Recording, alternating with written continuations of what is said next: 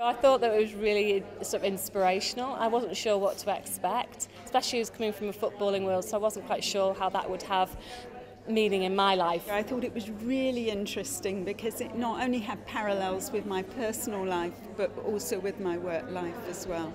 And I'm just very, very grateful that, that I had that experience. And like you said in the talk, you don't always tell people that you love how grateful you are that they're in your life. And so that was just special. So thank you, really thank you.